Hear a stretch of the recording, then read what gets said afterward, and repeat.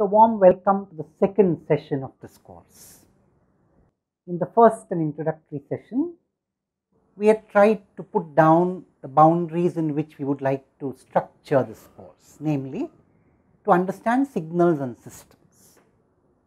We had given a number of examples from real life. What I want to do in this session is to talk about the whole concept of abstraction, of extracting from several different situations at once what is common and what is essential to a description of the situation. We had given an example in the previous discussion, the mass and the capacitor. So, if we use the mass as analogous to a capacitor, if we use the velocity of the mass as analogous to the voltage and the force on the mass is analogous to the current in the capacitor, then we have here two systems, two situations in real life which can be captured by one description.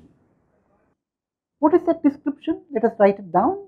So, in fact, here I bring in the notion of a system description. Let us denote the input as a function of time by x of t. Of course, here I am talking about time being continuous. For the moment, we will only concentrate on a continuous independent variable. This is an independent variable and the input signal is essentially a function of the independent variable. A dependent variable dependent on the independent variable. Now, of course, we are tempted to ask what is the difference between a signal then and any function as we understand it in mathematics? Actually, there is very little to distinguish the two. Most functions that we understand in mathematics are also signals, valid signals. In fact, if we really wish to, we could even say that all functions of an independent variable are signals in that independent variable. However, we would like to exercise a little bit of caution here. We would prefer not to use certain quote unquote pathological functions as examples of signals. So, just for those of you who have a very mathematical mind, let me give you such an example of a pathological signal. You know, in principle, you could define a function of the independent variable time, which is really all the set of real numbers, time could take any real value. And, and remember, when you say time can take any real value, you assume that you have fixed 0 somewhere in time. So, there is time before that and there is time after that. That is also something that we need to agree on. If time is the independent variable, we have to agree on a 0 in time and after we have agreed on the 0, there is time after and there is time before. In space, there is no such problem. So, you could have a function of space, a signal in space. To take an example, suppose I were to look at a scenery in front of me, a three dimensional object in front of me and if I were to take a slice of the object along a plane, then I could construct a two dimensional slice, a two dimensional function there and you see there again, now let us let us for example take a mountainous scene in front of. Suppose you were to take a slice of that mountainous scene and you were to plot the contours of the mountains in front of you. That would be a one dimensional signal as a function of space. Sometimes you take photographs. When you take a photograph, again you have a function of two independent variables, the two independent variables in space. So, an independent variable need not be one dimension, it could be one dimensional, it could be two dimensional, it could be multidimensional, 3, 4 in principle, whatever it is. This is the first abstraction that we are making. We could have a very similar pattern being shown if we record an electrophysiological signal, for example, the electrocardiogram. A very similar looking signal might also come from a pressure wave so, when we talk about a signal, just, we are just talking about an independent variable and the dependent variable which is a function of that independent variable. we have abstracted at the first level. Similarly, we abstract a system. So, for example, for both the mass and the capacitance, let us now write down an abstraction of the system description. So, what is the system description? Let us come back to that now. So, we had an input signal, similarly we have an output signal y of t, explicit relation between y of t and x of t is what we call a system description. What is the system description for the mass and the capacitor together? The mass and the capacitor, in this case the input is the force and the output is the velocity. Force we will call x of t, velocity of y of t.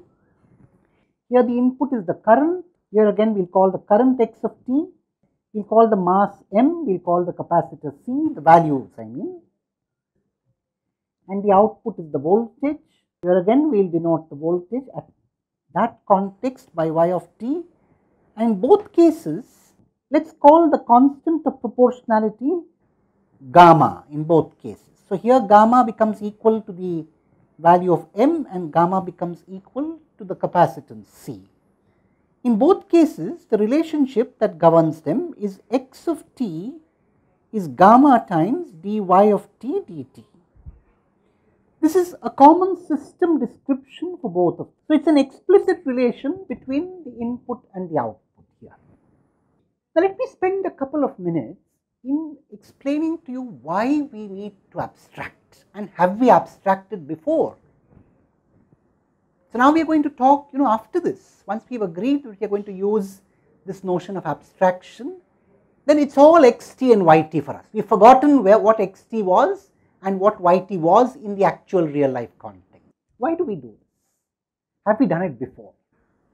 Actually we have done it all our lives in our studies in mathematics.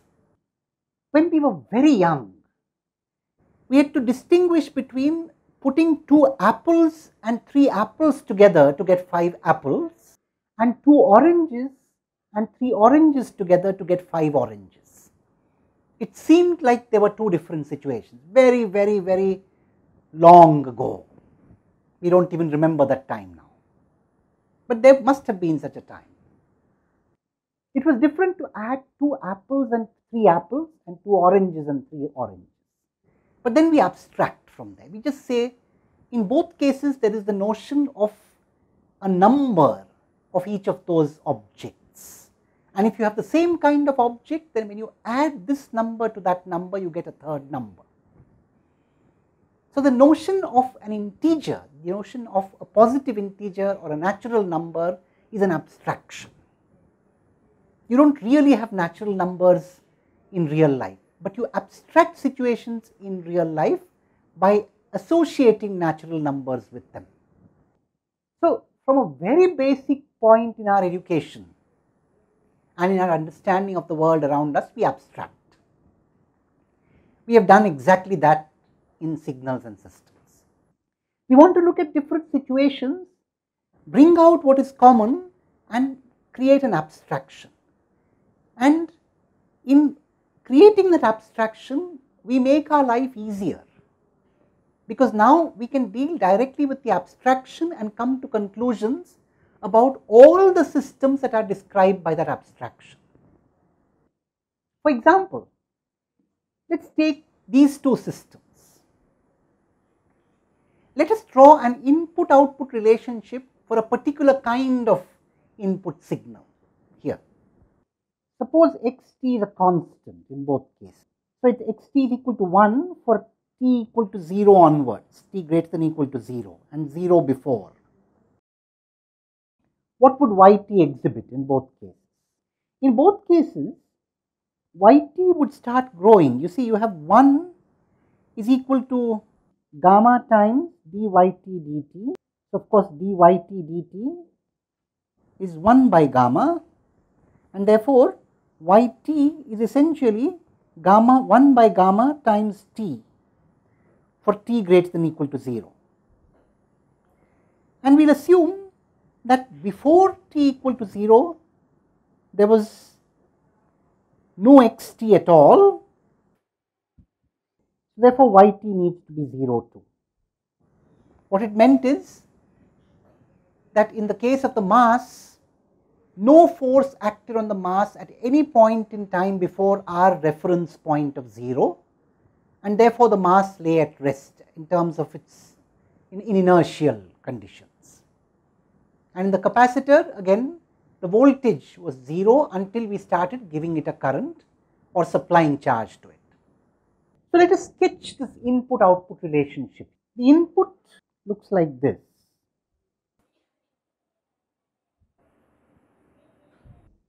In fact, this input is a very famous input in signals and systems and is often called a unit step. It looks like that, a step with unit height at time t equal to 0. And the output looks like this. So, it is 0 all the way up to t equal to 0 and then grows linearly. So, 1 by gamma times. This is also called a, a, a, ramp, not a unit ramp of course, but a ramp.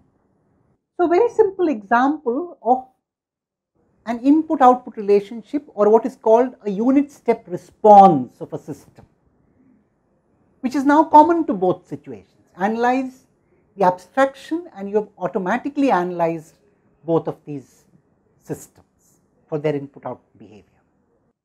We look at slightly more complex examples of this in the next discussion.